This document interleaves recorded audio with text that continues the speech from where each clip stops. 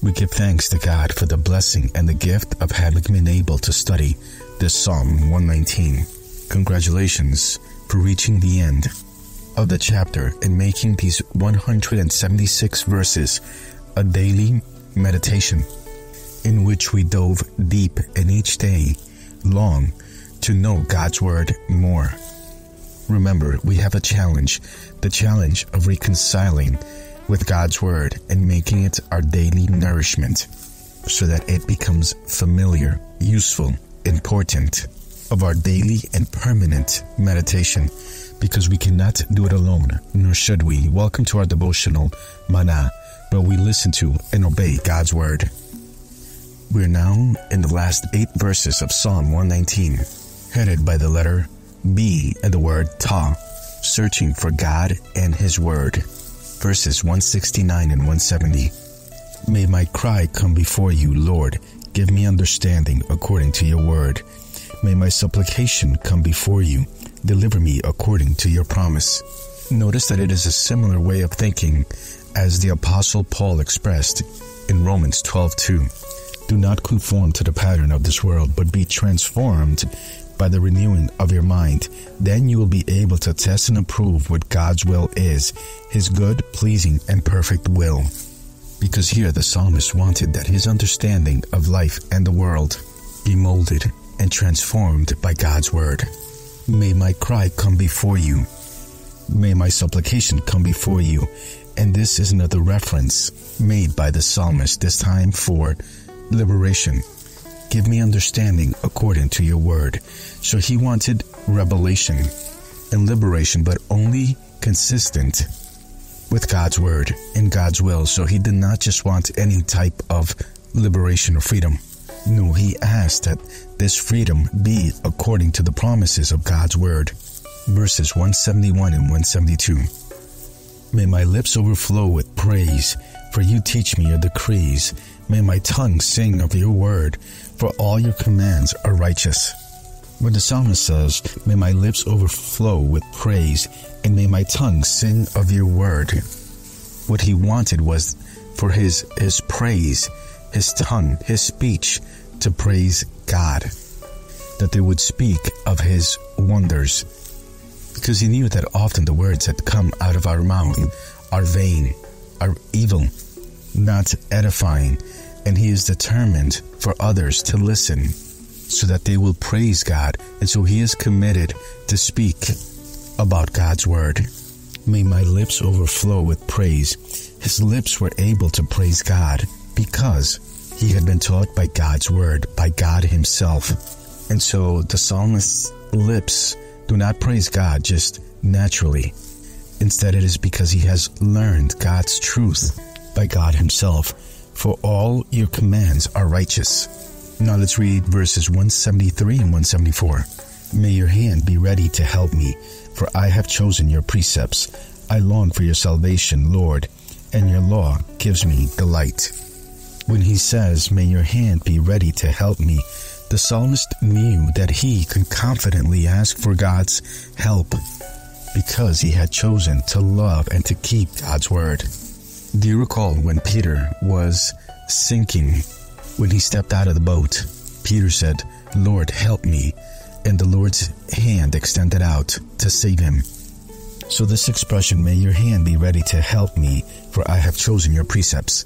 And then he says, I long for your salvation, Lord, and your law gives me delight.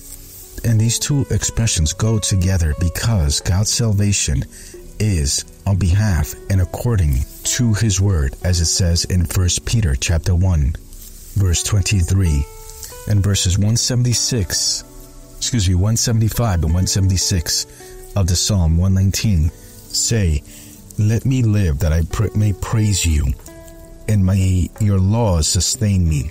I have strayed like a lost sheep seek your servant for I have not forgotten your commands this verse 175 is a good biblical declaration of what the Bible says in regards to salvation, because it reminds us that this salvation comes directly from God to the lost souls, weak, scattered as we are.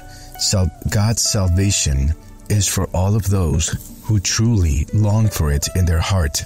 And so, how does this Psalm 119 end? We may say that the last section of this great psalm emphasizes the great need the psalmist has for God and his dependence on Him. His love and dedication towards God's Word does not give him more spiritual independence. On the contrary, it makes him more dependent of the need to seek God clearly. Look at what the psalmist is requesting in the verses that we just read. Let's summarize these last eight verses. And notice how the psalmist in verse 169 is requesting understanding. In verse 170, he is asking for deliverance. In verses 171 and 172, he is asking for the ability to praise God justly, righteously. In verses 173 and 174, he is asking for strength to live a righteous life. And in verse 175, he is asking for strength to persevere. So, what are these last eight verses of Psalm 119 telling me? That each day we must be conscious, and the need is revealed by the petitions we make each day. But notice that this psalm does not end being a lamenting in desperation. No, instead, a sense of need because there is an evident and profound conviction of the sufficiency of God's will for all of us. The psalmist is saying, I have strayed like a lost sheep. And so this great psalm ends with a very moving note because the psalmist is remembering that at one point of his life he went cold, that his tendency was towards sin, to walking, wandering as a lost sheep. And so he asks God to seek him and so here there is a confession of imperfection on behalf of the psalmist, a lack of power, and this in reality means or represents the best thing that could happen to a Christian because he is saying to God that he cannot do it alone, that he cannot do it in his own strength. And so here the author is not justifying himself by his devotions, despite reiterating that he had obeyed the Lord's teachings. No, and notice that this verse that we are analyzing is very emotional, filled with tears, because truly, if we analyze what we just read, we will notice that we are all astray. So we need to pray to be visited, sought by the Good Shepherd who is our Lord Jesus Christ, so that He brings us back to the flock. He is saying, Lord, teach me to find the way back home, as a stray sheep who wanders further and further away from home, so he considered himself and continued to be as a sheep, the Lord's sheep, his property. But he had faith that God would seek him to be restored. This is why he says, I have strayed like a lost sheep. Seek your servant, for I have not forgotten your commands. And God sought his servant through his word. God seeks us in his word. His word tests us. His word encourages us, strengthens us. His word corrects us, teaches us, helps us. It gives us understanding. It protects us. This is what we have been studying for several weeks as we analyzed this Psalm 119. Seek your servant. And why? Because the reality is that we are weak, because we go astray, because we are sinners. Yet we are still God's servants, and God is willing to seek us and give us life. You recall the apostle Paul in Romans 7:21 when he said, Although I want to do good, evil is right there with me. What a wretched man I am. Who will rescue me from this body that is subject to death? But this is when God says, I have come to seek you, and this is why I have brought my Son, Jesus Christ, so that you no longer need to continue fighting with your flesh, but instead have victory each day. Here, Psalm 119 ends with a note of urgency, in which there is a need. And how does a psalm end? Well, it motivates us to not allow our hearts to become hardened, to allow God's word to speak to our heart each day. This psalm ends with a reminder that the power and the greatness of God's word do not rest, that his greatness and his glory is based on the fact that God comes to us and seeks us in and through his word. I think there cannot be a clearer expression amongst what we have studied during these two weeks. Do not go looking for an emotional experience or something strange out of the ordinary to happen in your life. No, instead, go to the Bible each day, go to God's Word each day, and remain day after day listening, reading, writing and be assured that God will reveal himself to your heart. I know that God wants to reveal himself to your life each day, and he will do it because his word is revelation for the heart that is thirsty to listen to him, to understand him, and to follow his footsteps each day. I would like for you there in the YouTube channel where most of you are accessing this series of our devotional Mana. I'd like for you to write me write to me and tell me what was most impactful to you of the Psalm 119. How has it marked your heart? But above all, I'd like for you to tell me what commitment will you make from here on out after having read and analyzed this psalm completely, and above all, how it has presented to us the immense need we have each day to approach God's Word and allow it to minister to us, to speak to us, and to reach the depths of our heart. And so I leave you with the task if you do not have a Bible at home, find one. Have the Bible close to you so that each morning when you wake up, you read it as your spiritual nourishment. And this will inspire you each day to grow in your knowledge of God. Okay, our suggested reading for today is Genesis 41, verses 1 through 27. And you will read about how God uses Joseph to reveal Pharaoh's dream and the powerful words that Pharaoh says to Joseph when he says that he would have never imagined so much wisdom from a man filled with the Holy Spirit. And so you will see how Pharaoh acknowledges Joseph's knowledge, his wisdom. And why? Because Joseph spoke according to God's word. And this is how every child of God should speak. And remember, take notes.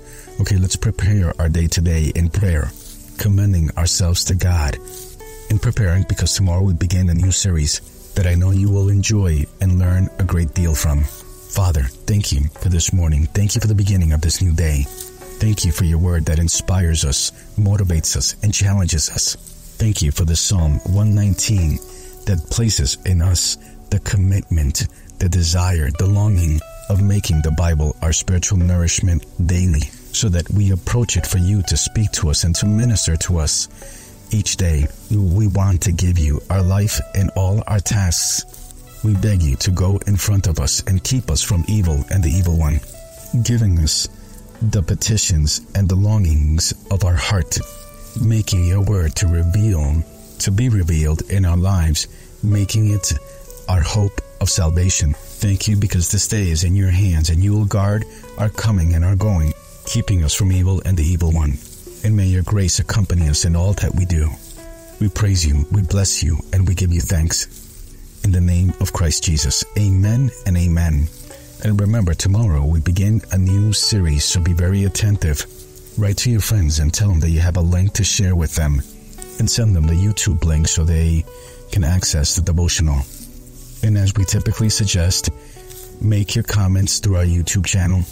Click like on our publications so that day after day our devotional continues to grow in the task of bringing God's Word to the ends of the earth. To our entire Mana family around the world, remember that our World Conference each day is receiving more and more registrations, so do not wait to the end and register as soon as possible all of those who are interested in joining us with their family because this will be a very special event. So go to our webpage, devotionalmanau.com, and you will be able to access instructions on how to register for our World Conference. And I wait for you tomorrow in our next devotional time. Blessings to all.